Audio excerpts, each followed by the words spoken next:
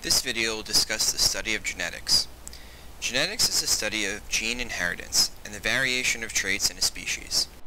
The video explains how genetic information is transferred from parent to child. The video assumes that you are familiar with DNA, genes, and alleles. So as you know, living things have a lot of DNA. Cells have a way of packaging this DNA into neat and tidy structures before an organism reproduces.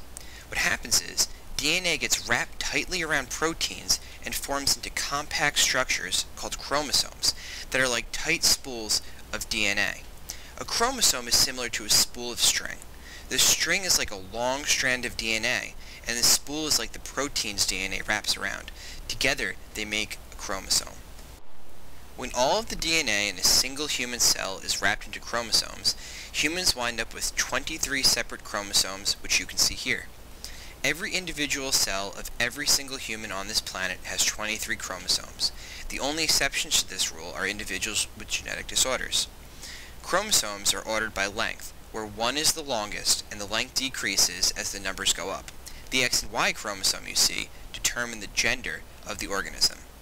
Now, while humans have 23 different types of chromosomes, they also have two copies of each chromosome, as you can see above. This makes a total of 46 chromosomes. One copy comes from the mother, and the other copy comes from the father during reproduction. Look at the picture. There are two chromosomes above each number, one from mom and one from dad. Often, these pairs of chromosomes link together and appear like this. One side of the X is the mother's chromosome, and the other side is the father's. The chromosome from the mother and the chromosome from the father will most likely contain different alleles for the same gene. Mom could be short and dad could be tall. Mom could have brown hair and dad could be blonde.